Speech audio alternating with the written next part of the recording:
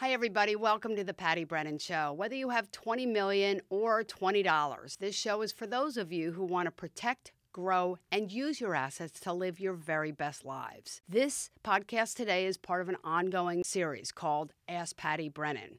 And what I thought would be kind of would be to go over the master list of goals that we have here at Key Financial. These are the questions that we tend to ask people to really help them articulate what's important to them and remind them that there are many possibilities for a lot of families. So I'm going to go over some of the questions that we ask and the many goals that bubble up for a lot of people. And just remember, there are a lot more than what we're going to be talking about today. So, for example, when it comes to retirement, do you need help in deciding when you want to retire? Would you like to slow down and work part time, like semi retire, or do you just want to cut cold turkey? Do you want to take a few sabbaticals every once in a while, kind of have this career that has breaks in between, whether it be jobs or careers? Do you want to feel confident about where you're going to get your stream of income? When you're no longer getting that paycheck. When it comes to your family, do you want to save for a child or a relative's college education? If you're younger, just getting married, do you want to have a child or adopt one? What's involved in all of that? And how much is that going to cost? Do you have any parents or other family members that you want to make sure that you can care for and provide for? And what's involved in all of that? When it comes to your own personal goals and your self development goals, do you want to get some advanced education or certifications for professional reasons? If so, what's practical and what could that entail? Are you looking for professional advancement, like a new job or even a whole new career? Those of you who have been watching me and who know me know that I didn't start out as a financial planner. I was a nurse. So, what was involved in that transition? And how did we work within the confines of having a family, buying a home, and changing careers? That might be something that all of you or many of you are considering, especially after the pandemic. Um, you know, you've probably heard or read articles about this thing they're calling the great attrition, people leaving their jobs.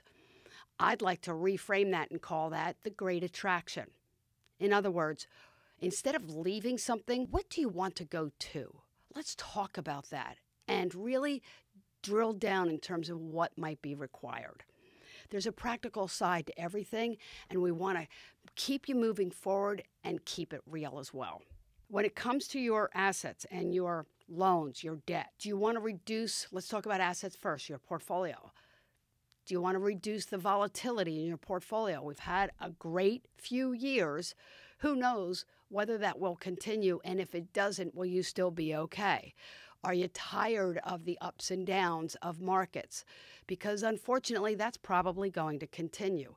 If you tone that part down, what does that mean for your financial future? Do you want to find ways to increase your cash flow or maybe just improve it? How do you improve cash flow? Boy, that sounds great, but how do you do that?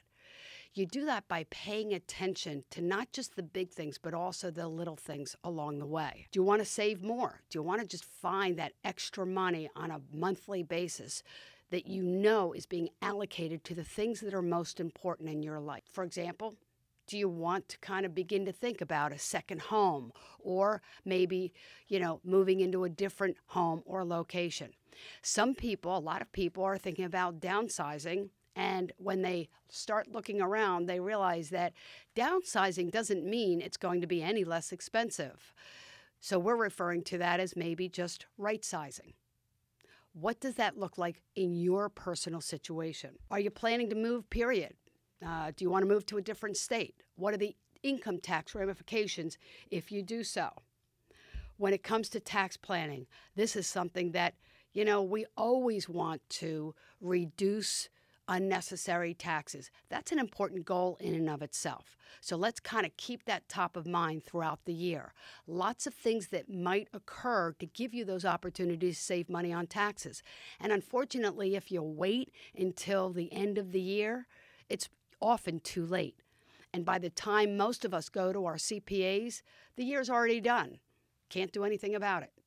So When it comes to saving money on taxes, just keep that top of mind as an important goal. When it comes to health care, what's, what are your insurances? You know, I've talked in the past about this productive paranoia.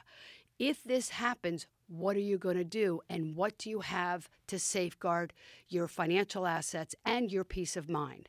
At the end, everybody, that's what this is really all about. It's about peace of mind and always feeling like you're moving forward. It's progress. That's what financial planning is all about. Let's measure and monitor and make sure that over time you've got that wonderful sense of well being, that peace of mind, and that feeling like you really are making progress. But it can't be something intangible, it's got to be measured.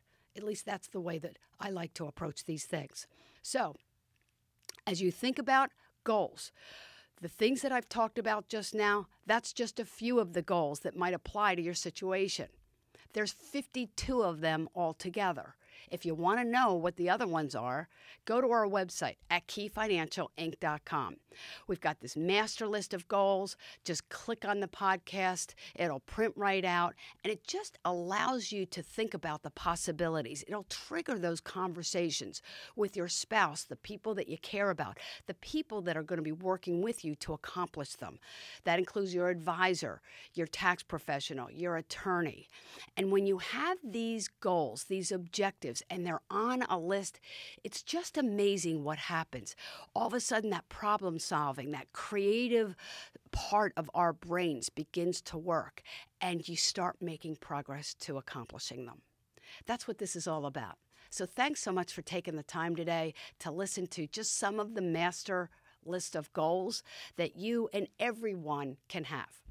I'm Patti Brennan from Key Financial. Again, feel free to go to our website at keyfinancialinc.com. And if you have any ideas or things that you'd like to hear about, many of the podcasts, a lot of the topics that we've been talking about are as a result of people who went to our website and asked the questions Can you talk about A, B, and C? And I will tell you, the list is incredible. And these are great ideas that we wouldn't have even thought of if these people hadn't written in.